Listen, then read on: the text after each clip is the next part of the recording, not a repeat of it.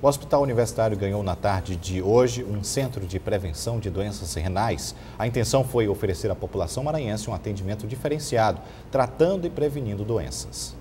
Hoje, em todo o Maranhão, são mais de 1.700 pacientes fazendo a hemodiálise. Com o novo Centro de Prevenção de Doenças Renais, o CPDR, inaugurado pelo Hospital Universitário, além de aumentar o número de atendimento a essas pessoas, o centro vai trabalhar com a prevenção.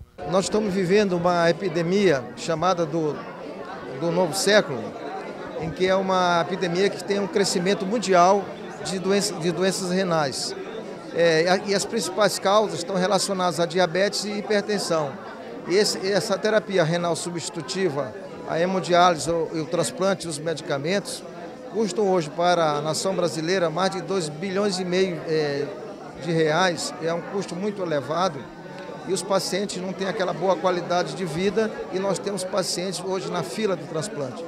Segundo o secretário de Atenção à Saúde do Ministério da Saúde, as estatísticas só aumentam em todo o Brasil. O número de casos de insuficiência renal dobrou no país. Aproximadamente 13 milhões de brasileiros apresentam algum grau de problema renal. Os casos vêm crescendo a um ritmo de 10% ao ano. É, as doenças crônicas e, dentre elas, doenças renais, é, são muito importantes em número em aflição para as pessoas, em sofrimento e em gasto para o Sistema Único de Saúde.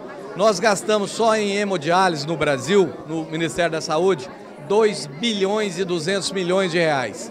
E esse centro é um exemplo que é possível prevenir, é possível alongar a vida bem cuidada dos pacientes com doença renal crônica. O centro foi inaugurado ao lado do Hospital Universitário e já está em funcionamento, com uma equipe composta por nefrologistas, enfermeiros, assistente social, psicólogo, farmacêuticos e preparadores físicos. Os atendimentos são de segunda a sexta.